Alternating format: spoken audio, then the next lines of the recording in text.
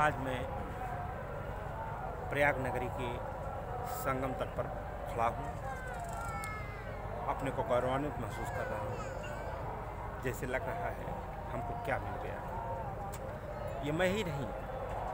यहाँ के, यहाँ पर जो भी लोग आते हैं, सबको ऐसा लगता है, सब अपने को अभिभूत हो जाते हैं, सब इस पावन नगरी की महिमा को देखकर अभिभूत हो जाते हैं। और मन करता है कि चलो रे मन, गंगा जमुना के तीर, चलो रे मन, गंगा जमुना के तीर। लगता है कि कितना जल्दी मैं पहुँच जाऊँ गंगा जमुना सरस्वती के संगम पर, जो आकर्षित करता है अपनी ओर। ये एक संस्कृति ऐसी है कि जो गंगा जमुनी संस्कृति है, कि गंगा जमुनी संस्कृति का तात्पर्य है। दोनों अलग अलग नामों से जानी जाने वाली नदियाँ आपस में मेल करके और एक नई ऊर्जा के साथ प्रवाहित होती हैं। इसी तरीके से हमारा जीवन भी एक नई ऊर्जा के साथ यहाँ लगता है कि यहाँ हम बहुत सारे लोगों से मिल करके अपने को संगम, लोगों का संगम, प्राणियों का संगम और हर संस्कृतियों का संगम सब कुछ दिखाई देता है। यही आपके सामने संगम है और जो चौदह तारीख को अपनी छटा बिखेरेगा पंद्रह तारीख को लोग यहाँ स्नान करेंगे और ये परंपरा आदि, अनादि काल से चलती चली आ रही है। शायद हमें भी नहीं पता है कि ये कब से शुरू हुई है और कब तक चलेगी। जब तक ये पृथ्वी रहेगी, तब तक यहाँ संगम का मेला लगता रहेगा। यहाँ लोग आते रहेंगे और ये रात दिन यहाँ लगता है कि रात कुछ है ही नहीं है। जैसे लगता है कि रात ठहर गई हो और लोग पूरा इन्जॉय ले रहे हैं।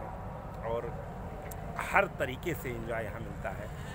माँ गंगा का पवित्र स्नान करके जो आनंद की प्राप्ति होती है, वो शायद हम लोग डेली जो है स्नान करते हैं, वो अनुभूति नहीं हो पाती है। इस माँ गंगा को सत सत प्रणाम सत और यमुना जो है माँ गंगा का साथ देती हैं। सरस्वती माँ जो हमारी माँ हैं, वो भी गंगा माँ के साथ दे करके और गंगा को और पवित्र बनाती हैं।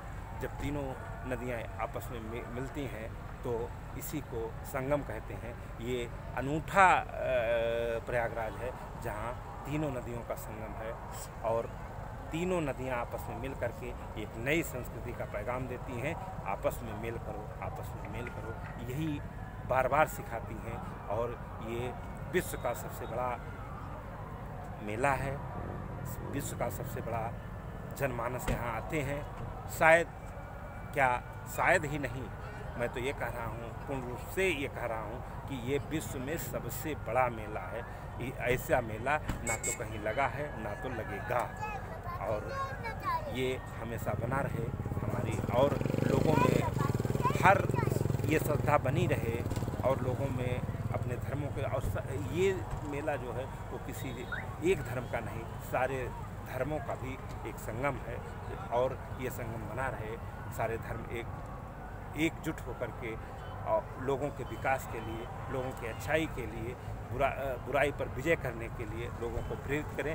यही हमारी इच्छा है, सदिच्छा है और माँ गंगा को मैं सहस्त्रों बार प्रणाम करता हूँ।